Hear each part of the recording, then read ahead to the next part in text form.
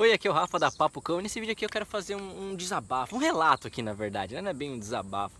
Uh, o que acontece? Eu quero falar sobre frustração. E não é sobre a frustração dos nossos cães, é sobre a nossa frustração com os nossos cães. Imagine uma situação, você está com o seu cãozinho em casa, na sua casa, você ensinou ele a fazer um monte de comportamento, um monte de truque legal, você se diverte pra caramba com seu cão, seu cão se diverte com você, e daí você foi para visitar uns amigos que também levaram os cães, você levou o seu cãozinho. O pessoal viu lá o seu cão, todo mundo feliz, ah, que bonitinho, conversando sobre cachorro, que é o assunto que geralmente o pessoal se amarra em conversar, já que eles levaram seus cães e tal, são seus filhos, né? Daí você resolve eh, mostrar para os seus amigos que o seu cão sabe fazer alguns truques e tal, sabe brincar de maneira divertida, enfim, você quer fazer um showzinho para os seus amigos. Aí você chama o seu cão para tentar mostrar isso primeiro que o seu cão não vem. Aí você já começa a ficar frustrado. Daí o cão vem, ele não faz nada, ele nem quer prestar atenção em você. Ele tá do seu lado porque você meio que forçou ele vir do seu lado, mas ele tá olhando para os outros cães, ele tá olhando para o ambiente novo, ele tá sentindo outros cheiros, ele tá super distraído com aquela situação. Daí o que acontece? a pessoa fica super frustrada, porque, putz, falou super bem, falou que estava mostrando, na hora que quer mostrar, a gente acaba uh, ficando envergonhado. Minha mãe sempre falava uma frase assim, que mãe mente, justamente por causa disso, né? Pai mente porque você tá lá, você falou um monte de coisa para o pessoal que o seu cão sabe fazer e na hora de mostrar, o seu cão não fez nada disso. E você fica completamente frustrado, fica triste, muitas vezes você começa a forçar o seu cão.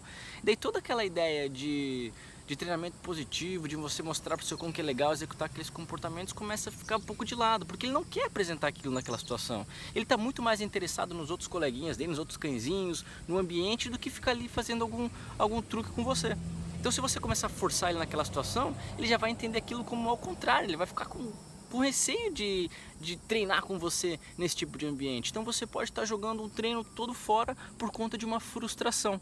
Né? E era justamente isso que eu queria falar com você. Então, se você tentar fazer isso, se cão não estiver uh, querendo apresentar comportamentos, querendo interagir com você naquela situação, tudo bem, respeita o limite do seu cão, deixa, libera ele para brincar tal.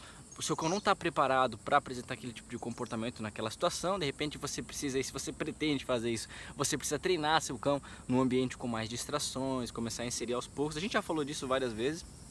Mas a ideia justamente é para que você não fique frustrado. Não adianta você querer uh, que o seu cão apresente esse tipo de comportamento num ambiente que ele não está preparado e você só vai ficar frustrado mesmo, né? E essa frustração pode jogar todo um treino por água abaixo. Então, uh, não se frustre, não se frustre com o seu cão, né? Lembre-se que ele é um cão né? Então, isso a gente tem que respeitar sempre os limites desses animais, tá bom? Bom, esse é o meu relato de hoje. Uh, cuide com as frustrações e se você puder aí de repente uh, passar isso para as pessoas que possam ficar frustradas com os seus cães, é interessante, né? Para a gente sempre uh, criar vínculos positivos com os nossos cães e evitar estragar todo um trabalho de treinamento com os nossos cães, tá bom? Então é isso, um grande abraço e a gente se vê no próximo vídeo. Valeu!